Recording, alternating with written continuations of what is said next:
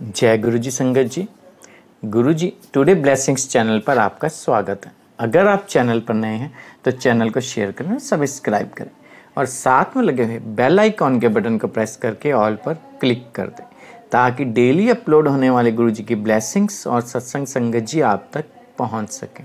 संगत जी, अगर आप इंडिया या इंडिया से बाहर, दुनिया के किसी भी कोने में रहते हैं और गुरु जी के इस प्यारे से चैनल पर अपना सत्संग अपलोड करवाना चाहते हैं, पूरी दुनिया की संगत के साथ अपना सत्संग शेयर करना चाहते हैं।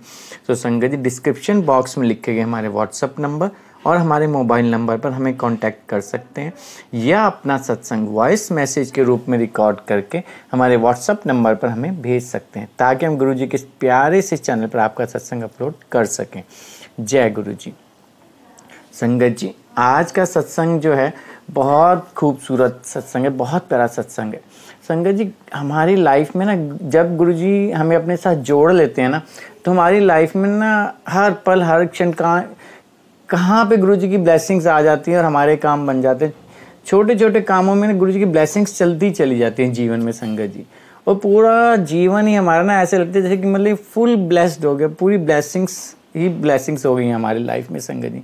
और जन कई बार क्या होता है, संगत जी, एक गुरु जी की एक ब्लेसिंग हमारे पूरा जीवन बदल के रख देती है संगत जी, और ये होता ही है। हाँ जी, एक भी गुरु जी कोई सी भी ब्लेसिंग मेरे मालिक की, पूरा की पूरा जीवन बदल देती है संगत जी। ऐसे ही आज का सत्संग है संगत जी, कि कैसे एक आंटी के जीवन में गुरु जी की एक ब्लेसिंग ने उनके जीवन की दिशा और दशा संगत जी हाँ जी, उनकी जीवन की दिशा और दशा दोनों बदल दी। गुरु जी की एक ही ब्लेसिंग ने। संगत जी, और ये सत्संग हमारे साथ शेयर किया है। गुरु जी की बहुत लाडली और प्यारी संगत है संगत जी। सूरत की बहुत फ़ेमस आरजे हैं मोनिका आंटी। हाँ जी, सूरत की बहुत फ़ेमस आरजे हैं मोनिका आंटी। उन्होंने ये हमारे साथ अपना सत्संग शेयर किया चलिए सत्संग स्टार्ट करते हैं। जय गुरु जी जय गुरु जी शुक्राना गुरु जी आपका लाइफ में आने का बहुत बहुत शुक्राना। और नारंग अंकल आपका भी बहुत बहुत थैंक यू कि आपने ये प्लेटफॉर्म हमें दिया जहाँ हम अपनी फीलिंग्स शेयर कर सकते हैं। तो ये बात है कुछ 2016 की। सो so, ये मेरी लाइफ का सबसे बड़ा मेरिकल था। एक्चुअली गुरुजी से तो हम 2011 से ऑलमोस्ट जुड़े हुए हैं लेकिन ये मेरिकल शायद मुझे लगता है कि मेरे लिए एक टर्निंग पॉइंट था। तो आ, हुआ ऐसा कि मैं जलंधर में रहती थी और मेरे शोल्डर में काफ़ी पेन था और आ, मेरे फादर आर्मी में हैं तो हम मिलिट्री हॉस्पिटल जाया करते थे। तो वहाँ पे एक कर्नल थे जिनके अंडा मेरा ट्रीटमेंट होने वाला था। So we went to the doctor and he said कि आपके शोल्डर में मैम स्कैन वगैरह किया है तो उसमें पता चला है कि रसौली है। और इसको ऑपरेट करके निकालना पड़ेगा। तो हम लोग काफ़ी टेंस हो गए बिकॉज़ मेरे मदर्स जो थे वो कहते थे कि हमने तो कभी तुम्हें बचपन से चोट नहीं लगने दी कहीं बॉडी पे कोई मार्क नहीं आने दिया है। एंड शी वॉज़ लाइक कि मार्क तुम बेटी हो कल को तुम्हें दूसरे घर जाना है। और एक वो उस तरीके के थाट्स जो है वो मेरी फैमिली में चलते रहते हैं तो उनके दिमाग में भी ये थाट था। सो so, डॉक्टर ने हमें साथ में ये भी बोला कि देखो मेरा ट्रांसफ़र हो रहा है दिल्ली तो आप एक काम करना आप भी दिल्ली ही आ जाना अपने ट्रीटमेंट के लिए, मैं आपको शिफ्ट कर देता हूँ। हमने बोला ओके तो डॉक्टर का ट्रांसफ़र हो गया और हमें सर्जरी के लिए भी दिल्ली बुलाया गया। सो हमने उस हिसाब से प्लानिंग कर ली कि मेरे दिल्ली में मेरे मासी रहते थे एक्चुअली सो हमने कुछ पाँच दिन का ये प्लान किया कि फ़र्स्ट डे हम जाएँगे और सेकेंड हम डॉक्टर के पास जाएँगे तो वो हमें हॉस्पिटलाइज कर लेंगे तो सेकेंड या थर्ड डे सर्जरी हो जाएगी उसके बाद हम दो दिन शायद रेस्ट की ज़रूरत होगी और फिर हम वापस आ जाएँगे। तो हमने पाँच दिन का ट्रिप जो था ना वो प्रॉपरली प्लान कर लिया सब कुछ जो हमें लगा कि इस हिसाब से ही होगा। सो so, हम उस हिसाब से चले गए और जिस दिन हम वहाँ पहुँचे हैं उस दिन आ, मेरे मासी के घर के बिल्कुल ऑपोजिट जो घर था वहीं पे एक सत्संग था। सो so, मेरे मासी ने बोला कि देखो एक सत्संग है यहाँ पे चलो आ जाओ पहले वो अटेंड करते हैं। So we said okay we वो वेरी हैप्पी कि चलो, सत्संग अटेंड करने भी यहाँ पे हमें मिल गया। तो हमने सत्संग अटेंड करा और next morning we went to the doctor और उन्होंने बोला कि आपके कुछ स्कैन वगैरह दोबारा होंगे और कुछ मेडिसिन हैं जो आपको चाहिए सर्जरी से पहले। ये दो दिन आप खाओ और थर्ड डे आप सर्जरी के लिए आ जाओ। हमने बोला ओके okay. हमने मेडिसिन लिए स्कैन करवाई और वापस आ गए हम घर पे।